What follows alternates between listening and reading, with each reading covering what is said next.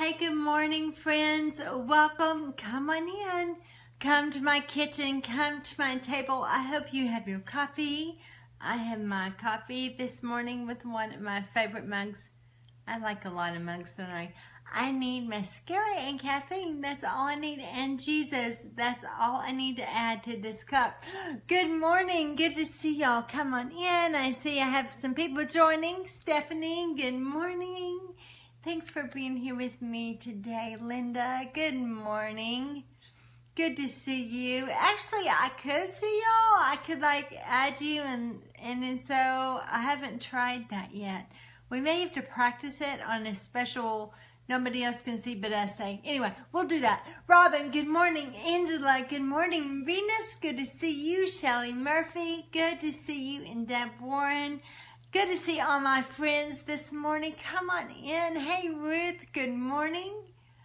And Shelly is still in Georgia. Steve, good morning. I'm glad you could come. Hey, Tamara, yay, good to see y'all. Hey, Tamara's um, church is doing the Ruth Bible study. I'm so excited to hear how that goes and how they enjoy that.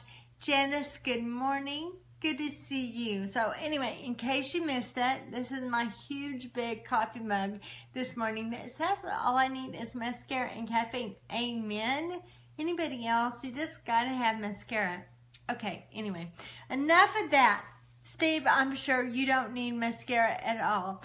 Let's hold our hands. Let's pray us up. Cindy Sproles, good morning. Kim, I got your um book sent to you yesterday. Good to see you. Nancy, good morning. Okay, so let's roll up our sleeves. Let's pray us up, get our spirits ready for what God has. I'm so excited about today's scripture. I just have to tell you, I was scared to death of it. It was a hard scripture but God's got good stuff for us. Here we go. Hold my hands. Good morning, Ellen.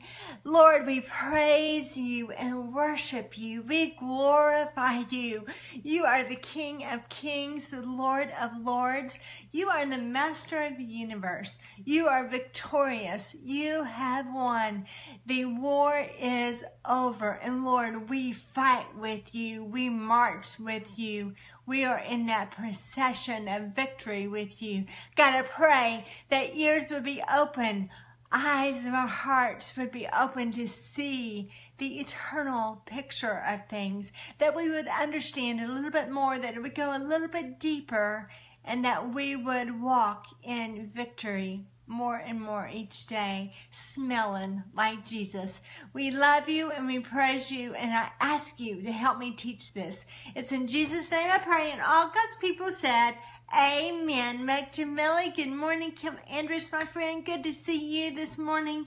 Okay, are y'all ready for a really interesting, I think, teaching this morning? We are in, actually, so if you have the Body Bread list and you're looking at the list, I skipped one. We're supposed to be in Philippians today, but this morning I went past Philippians and we are in this morning Second Corinthians 2.14.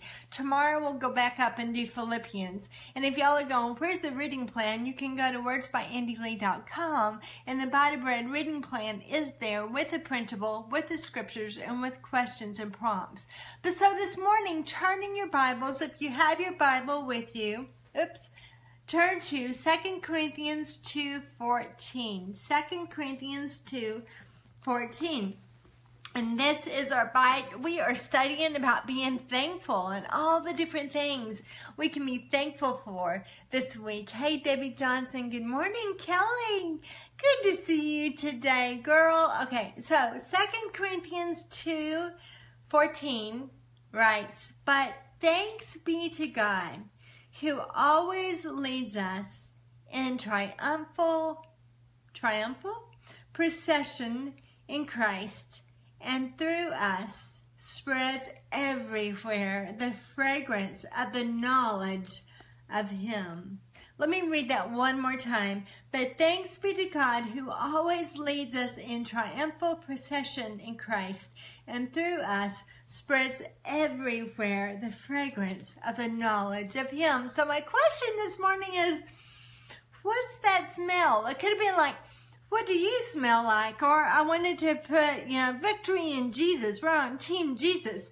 We're going to be talking about why we smell like Jesus and what that means, what that aroma was, what that smell was. But first, I have to say, we got to look at the context. And the reason why we have to look at the context is because of the very first word in that verse. It is but. And anytime anything starts with but, it's kind of like when it starts with therefore, you've got to figure out why it's therefore. And so when you see it start with but, then like, oh, we need to look at what's before that. Michelle, good morning. Teresa, glad you're with us today. So, but, so let's talk about the context of this um, this verse, the context of this book. It's a letter. It was written to the Corinthian church. It's the second letter that Paul wrote.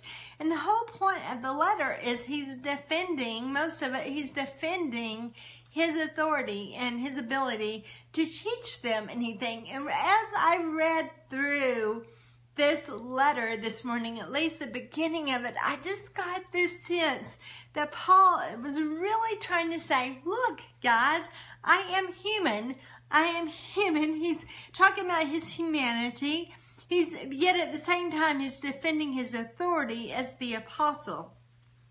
But this letter is a letter of his humanity, his humility, as well as his authority in Jesus. And you're like, well, how can that happen? How can you, why would you talk about your humanity and your humility as well as your authority in Jesus? But amen, do we only have authority in Jesus as we come just as humans, just humans, flawed yet called. I just happened to wear this today. I don't know if you can see it, but a, a good friend made this for me, flawed yet called, which is um, part of my book, Mary Like Me, Yet Called, because everybody called by God, all of us called into ministry, all of us called into the faith. We are just human. Look, there's Mr. Hank. He wanted to make it uh, say hello this morning, an appearance. Yay, you got to see Hank today. So back to, back to Squirrel, sorry, Squirrel, coming back to the lesson today. So so he's talking about his humanity. And what I love about this on his humanity, he says um, he's conflicted. He wants to come see them, but then he decides maybe I should just write a letter to him. So he writes a letter. His letter caused them grief, but then he explains that the grief that he caused them turned out to be a good thing. So you see this tension and confliction here that Paul has. I love that he's human, guys they're human. When they're human, then it just makes me know that it's okay and I can serve God too, right?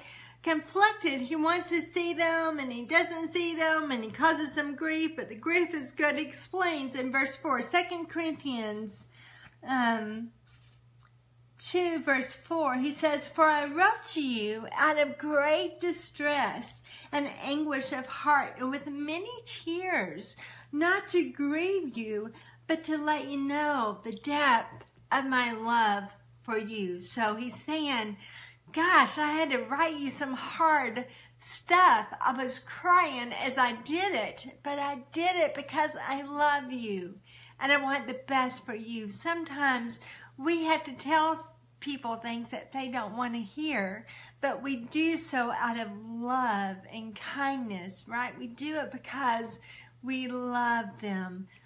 Sometimes we just want people to agree with us, but iron sharpens iron, right? We need those spiritual friends, those sisters and brothers in Christ who are going to say to us, oh, Andy, that's not quite right, girl. We, we want you to walk in that authority and the strength and the power and the smell good of Jesus. So let me help you a little bit in your thinking. It's not quite right. And so that's what his letter did. He told him it was hard for me to do that. But I did that because I love you. And then in verse 10, I just love this. Look at verse 10. I'm in, I'm in chapter 2, um, verse 10 he says, um, if you forgive anyone, I also forgive them. So he's, they're going through some hard stuff in their church. There's been sin in their church. They've had to correct that sin in his church. He says, I forgive them. Um, I also forgive them. And what I have forgiven, if there was anything, um, anything, I for uh, I have forgiven it in the sight of Christ for your sake, in order that Satan might not outwit us, for we are not uh, unaware of his scheme. So he's saying, I know that the enemy wants to just put, you know, this division in the church. Anybody, anybody experience that? All churches experience that. The enemy wants to divide us. But he's saying, love each other, forgive each other. Yes, we've got to be We've got to give each other the hard words, but forgive each other and love each other. Don't let Satan have a foothold and divide your church. And then he says in verse 12, Now when I went to Troas to preach the gospel of Christ and found that the Lord had opened a door for me. I love this part, y'all. This is one of my favorite parts of this teaching. Um, I don't know, like it all. But he said, um, I found that the door was open for me, and I, but I still had no peace of mind because I did not find my brother Titus there. So I said goodbye to them and went on to Macedonia. I just love this. Hey, Lisa Howard, good morning. He's saying, The Lord opened the door for me to go to ministry someplace, and I just, I just didn't have peace about it because I had to find Titus. I needed Titus. And so he said, I just kept on going. I didn't go there Somebody needed to hear that today because you feel like you you did not walk through an open door that God had for you and you think you missed it, but you didn't miss it. It's okay. Look what he says after that. And that's where he says, but. and that comes, that brings us to our Bible for today. He says, but thanks be to God who always leads us into a triumphal procession in Christ and through us spreads everywhere, no matter where we are, the fragrance of the knowledge of Him. So I think, I feel like He's saying, I missed that open door because I just didn't have peace about it. But, but God, but everywhere I go, no matter where I go, what I'm doing, I smell like Jesus. And Jesus' smell is a smell of victory. So let's look at this triumphal procession in Christ. So everything that I studied about this verse, it all goes back to the the culture at the time, the Roman um, army at the time, whenever they would win a battle, they would come through the town with the with the king and the army you know, generals and the soldiers and those that they have captive, that they have captive.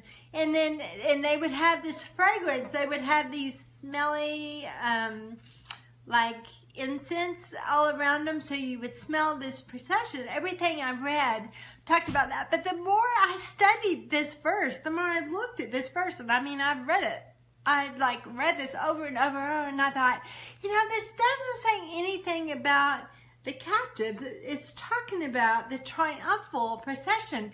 And so all I see is Jesus as the king walking and then his army behind him. You know, I see us as the army of God walking behind him in this triumphal procession of Christ.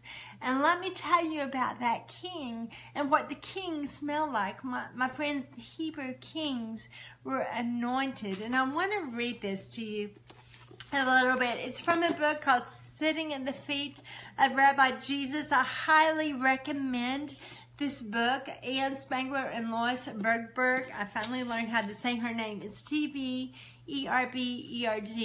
But listen to what they write about the anointing. And this is what I think he's talking about being fragrance of Christ, that aroma of Christ. So um, it's she wrote, so Messiah, Messiah, the Hebrew word for Messiah is um, it means it means anointed one. The Greek is Christos, Christ, which means the anointed one. And then she says, but why the anointed one? The word Messiah alludes to the ceremony used to set apart someone chosen by God, like a king or a priest. Instead of being crowned during a coronation, Hebrew kings were anointed with sacred oil. Sacred oil perfumed with extremely expensive spices only used for consecrating objects in the temple and for anointing priests and kings. The sacred anointing oil would have been more valuable than diamonds. Hello, did you hear that? More valuable than diamonds. The marvelous scent that it left behind acted like an invisible crown conferring an aura of holiness on its recipients. Everything and everyone with that unique fragrance was recognized as belonging to God in a special way. In the ancient Middle East, the majesty of a king was expressed not only by what he wore, his jewelry and robes, but by his royal aroma after even after a king was first anointed he would perfume his robes with precious oils for special occasions. Listen to a line from the king of david's wedding. You love righteousness and hate wickedness. Therefore god your god has set you above your companions by anointing you with the oil of joy and your robes with the fragrance of myrrh and the aloes of cassia.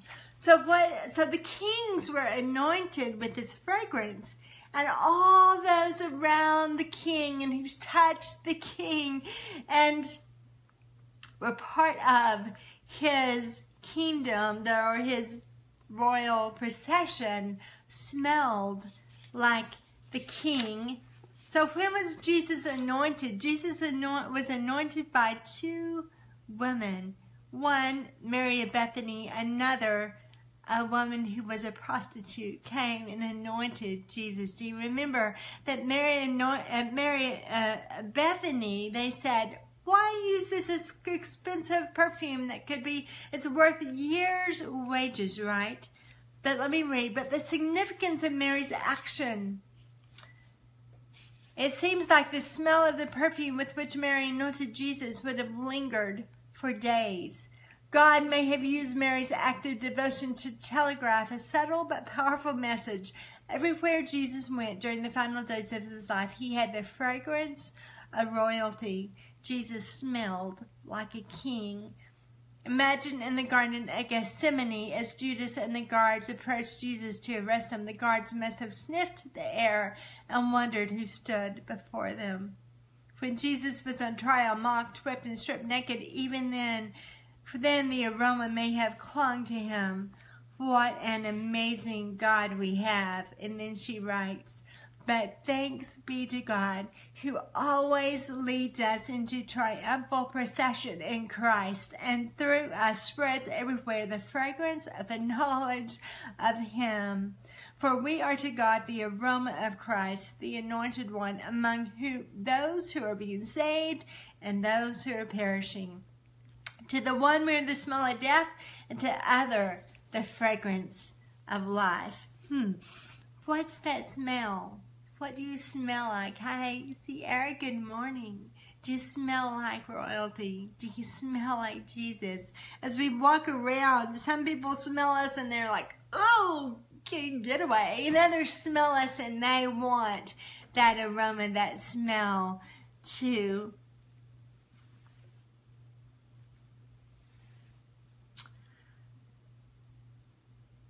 So the aroma of Christ is the smell of kingship, that smell of victory. Y'all, we have victory in Christ. And I think this is what is so cool. This is what Paul is saying. He's saying, I'm human. I'm humble. I'm conflicted. I keep on, I, I had this door open. I didn't walk into it because I didn't have peace. So I went the other way. But it didn't matter because we have victory in Jesus. And everywhere Paul went, everywhere we go, as long as we, we are claiming that victory in our faith and our love and our ministry of Jesus Christ, we're going to smell like him. And there's a victory in Jesus everywhere we go. We are the aroma of Christ among those who are being saved. That word saved is sozo. Everybody say sozo. Hey James, good morning. So sozo means to save, deliver, and to make whole. Somebody say amen. Did you know that every day he's just making us whole more and more each day? He says, he says, to the one we are the smell of death, and to the other the fragrance of life. And who is equal to such a task? Unlike so many, we do not peddle the word of God for profit. On the contrary, in Christ we speak before God with sincerity, like men sent from God. He's saying, I'm not doing this just for you or to make money. I'm doing this because I'm sent by God and I've got to tell you about Jesus. And I'm going to tell you about the victory. And I'm going to tell you that you smell good everywhere you go. With Jesus on you, there is a victory in God. In Jesus, every time He spreads everywhere the fragrance of knowing Him, of knowing Him, of the knowledge of Him, and knowing Him. And that's that gnosko knowledge, it's that experiential knowledge when you know Jesus, you just can't be quiet about it. You have to share it with others, how you know him. When you know Jesus, he drips off you. You can't help but smell like him. And some people hate it, and some people are drawn to it. The bottom line is we've got nothing great to give but Jesus, right? Stick with him, follow him, let him lead us. Follow him, follow him. Who you following today? Follow him and let him lead us in this victorious procession. So what are you thankful for today? Is it is it that he uses you to spread the smell of knowing Jesus? I want to close today with a little bit from this Day We Fight. This book, I've given several of these books away. Just love it. Maybe I'm going to have to give away the Sitting at the Feet of Jesus next. Um, so stay tuned. You have to watch to find out when the next giveaway is. But I want to finish today with a word from Francis Frangipane. To be conformed to Jesus is to walk in his anointing. As we near the end of the age, the true church will be increasingly identified by Christ's threefold anointing. And that anointing is the priesthood and the kingship. He says, We will be given to intercession as priesthood of believers. We will be prophetic in our discernment and communication of God's word, whether the word comes to teach, comfort, or evangelize or warn. And in all of life's spheres, we will walk in a holy, kingly anointing as ambassadors of Christ and his kingship in heaven. More on the wisdom of this in the next chapter. Sorry, we're not going to read that. For our world to recognize true Christianity, it must witness one reality people becoming Christ like in prayer, in the prophetic word, and in governmental authority. We where the true church is growing in maturity, it will be united in the full anointing of Christ, and transformation will follow. My friends, God has a huge purpose of eternal proportions on your life. You are special. You have been chosen. You are anointed. You're on the right team. You're on Team Jesus, the one that's already won the one that smells good, the one that's won the victory. Hold my hands. Let me pray you up. Jesus, we thank you. We praise you. We glorify you. And we just say, pour it on, Lord. Anoint us more and more with the fragrance of Christ, Lord. We want to smell like you every where we go. Help us pour into the word. And as we study and we pray and we recognize spirit around us, that you would just drip off of us everywhere we go, that we would share that victory of Christ. We would share the love of Jesus. We would share the forgiveness of sins, the grace of God, His chesed that's never ending. Thank you, Lord. I pray all those listening might rise up today and their anointing. Thank you, Jesus. It's in your name we pray. Amen and amen. Thank you for joining me today. That was so much fun. I'm It's so much fun when you have to dig and study and go, God, I don't understand that. If you are reading scripture and you don't understand it, don't give up. Study, read commentaries, and then let the Holy Spirit lead you. The Holy Spirit led me to understanding this better today. So just keep on studying. Don't give up. Tomorrow I'll be back, Lord willing. We'll be in Philippians 13 6. And I will ask for prayer. I'm just still with a little bit of vertigo and dizziness, which I'm fine when I'm sitting, but when I stand, it's different. So I'd appreciate your prayers. I'll see you tomorrow. Y'all go out there, be a threat to the enemy. As I said, God has eternal purposes for you today. Smell good. Bye.